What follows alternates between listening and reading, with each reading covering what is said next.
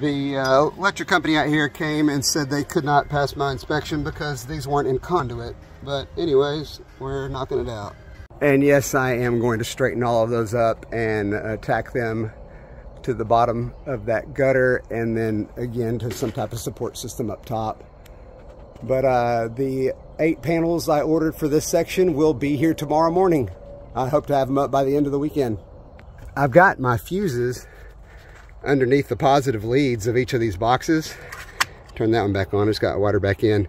So uh, it looks like a solid piece of conduit running through that pipe just to hold it in place, but that's actually where I can lift each of them up and change and check my fuses. Booyah, isn't that awesome? Woot woot.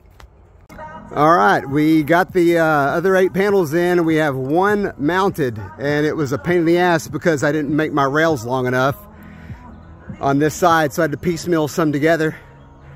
But anyway, it is up.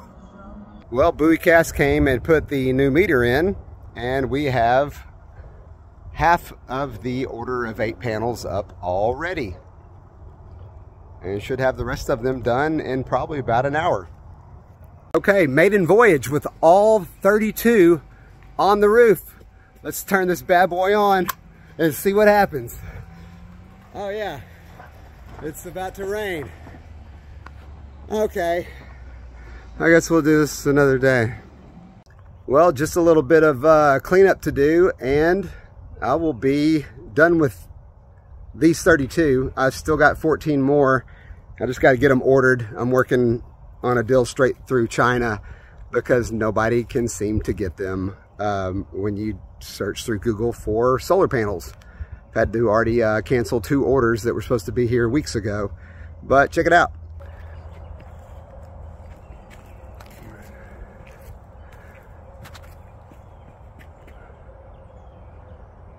Man, that's crazy.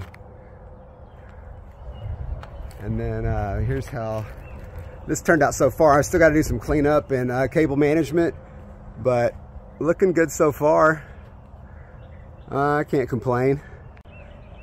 Yeah, I'm pretty happy with how it turned out.